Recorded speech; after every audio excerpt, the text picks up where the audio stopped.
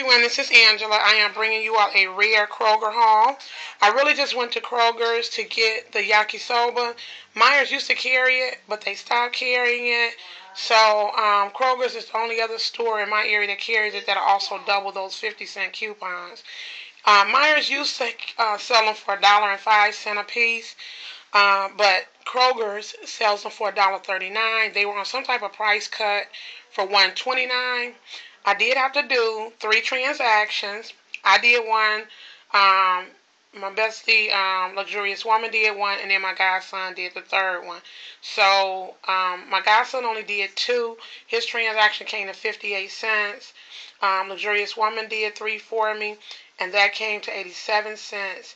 And then I did the other three along with the Dawn dish detergent, which was on sale ten for ten. They also had this uh, blue green one back here was on clearance for 89 cents. I had a 50 cent off for one coupon, so when that doubled, it made that one free. And then I had the dollar off for two um, Dawn hair renewal, so those ended up being 50 cent a piece. So my transaction ended up coming to $4.14. You know, the Olay hair renewals are in the um, this month's Procter & Gamble. The 50 cent off for one Dawn coupon that I got actually came came out of a um, Procter & Gamble promotional booklet that they mailed out. So uh, make sure you go on to Procter & Gamble's website um, and get your quarterly coupons. You can go on and just request a lot of different coupons and free samples. You can do that every three months and they usually will send you a booklet out. It has a lot of nice coupons. Once you're on their mailing list, they will also mail stuff out just at random.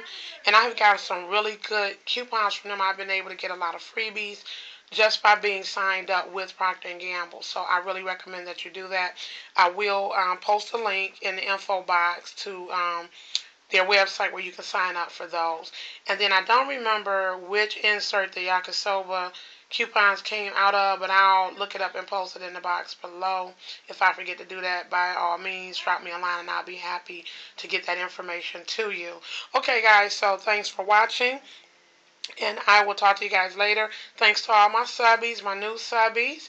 And um, please rate, subscribe, and all that jazz. All right. Bye-bye.